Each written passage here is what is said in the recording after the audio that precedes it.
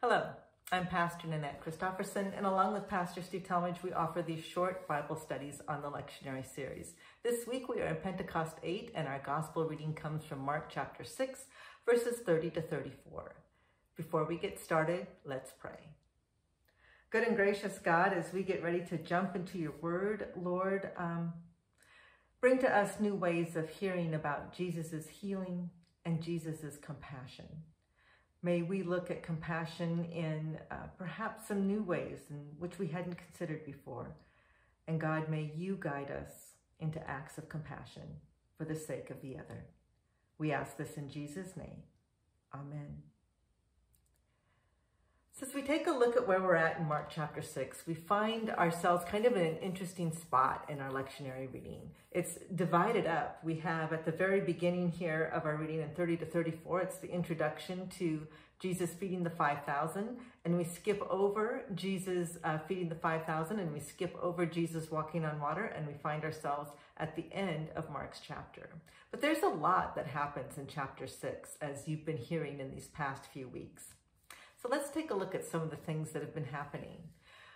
In, in the Gospel of Mark, Jesus is rejected in his hometown in chapter 6. He sends the 12 on a mission.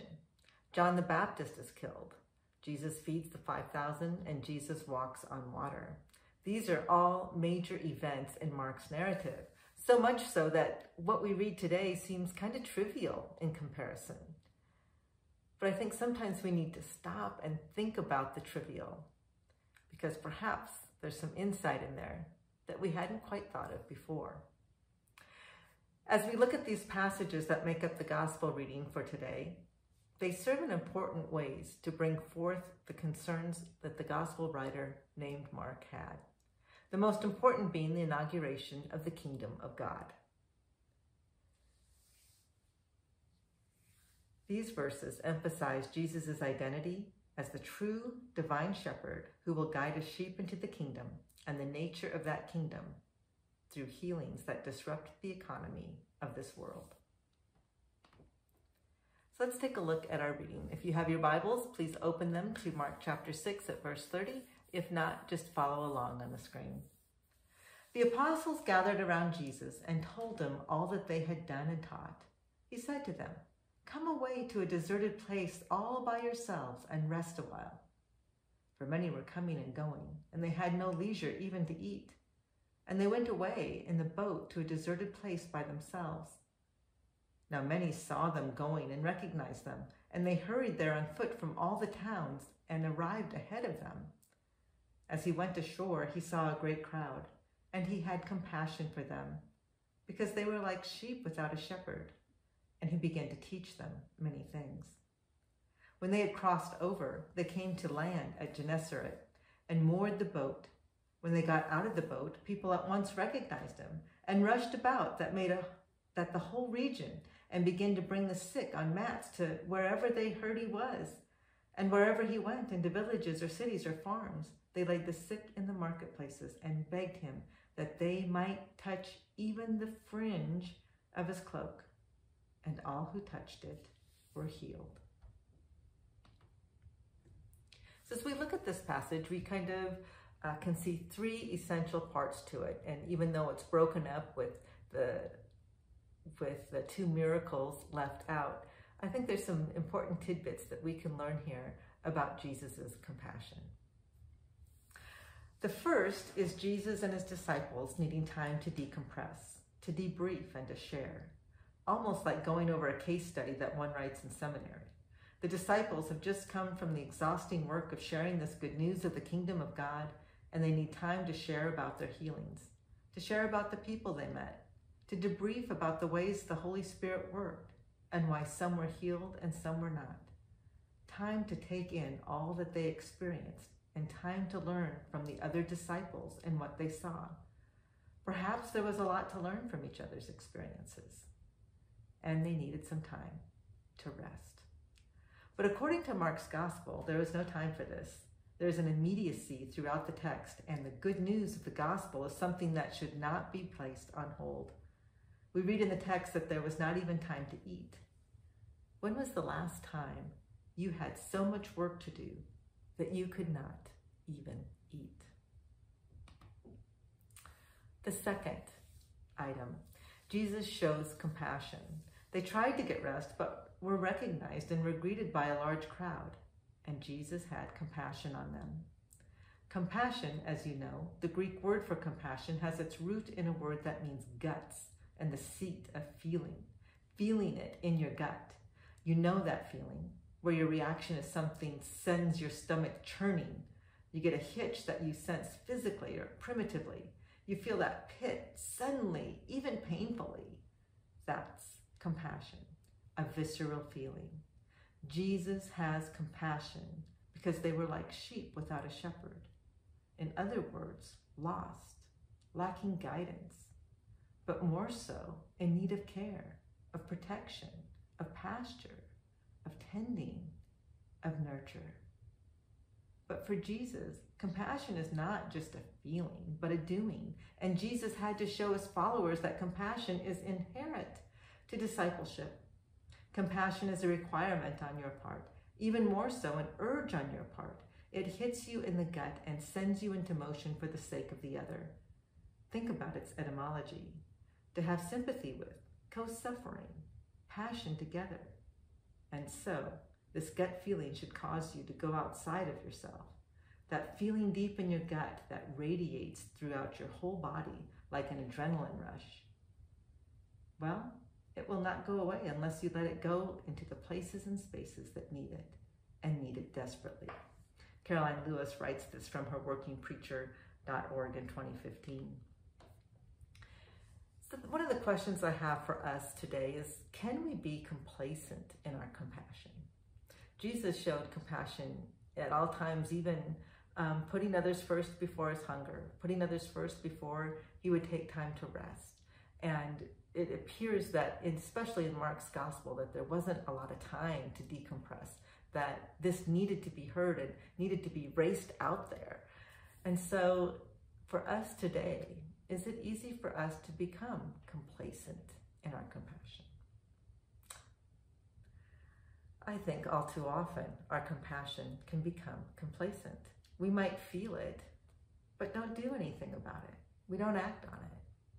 Don't advance its essential truth that there is no compassion unless it's known by the other and deeply. And the feeling of compassion can also be an opportunity for some radical reorientation. Time to ask the question, what needs attention? What issues need tending to? What needs nurture? Or where are you lost? And maybe even asking, what are you paying attention to? Or who are you paying attention to? Jesus says that his compassion is based on it. The gospel writer tells us that it's like sheep without a shepherd. So why does Jesus have compassion on them? Because he sees that they were like sheep without a shepherd. That is such a poignant and powerful image, isn't it? And I suspect many of us often feel that we are in that position. If that's the case, then what would it look like for Jesus to show compassion to these shepherdless sheep in Mark? You might be anticipating something like how Jesus healed the sick and took the children into his arms. But that's not what the text says here. What does Jesus do? And he began to teach them many things in Mark 6 34. We don't often think of teaching as being compassionate. Have we thought about when we share our faith stories with others, that an act of compassion? Perhaps it is. And in the third part that's essential to this to these passages, we see that Jesus heals. In verse 56, it says that they might touch even the fringe of his cloak. This is kind of a unique connection that Emery Powery, Powery made in his commentary. And it goes all the way back to Numbers 15, 34 to 40, as it talks about the fringe. The Lord said to Moses, Speak to the Israelites and tell them to make fringes on the corners of their garments throughout their generations, and to put a blue cord on the fringe at each corner. You have the fringe so that when you see it, you'll remember all the commandments of the Lord and do them, and do not follow the lust of your own heart and your own eyes. So you shall remember and do all my commandments, and you shall be holy to your God. Emery Powers writes that this might be a symbolic approach to this section, and it might suggest that salvation or restorations, meaning of salvation, of sozo, for sheep without a shepherd is to return to the commandments of the Lord, represented by the fringe on Jesus' cloak, which is like putting safety or security boundaries around the sheep. Or perhaps, to put it in more graceful terms, Jesus, as the shepherd, brings structure to chaos, wholeness to brokenness, food to the physically, mentally, and spiritually hungry.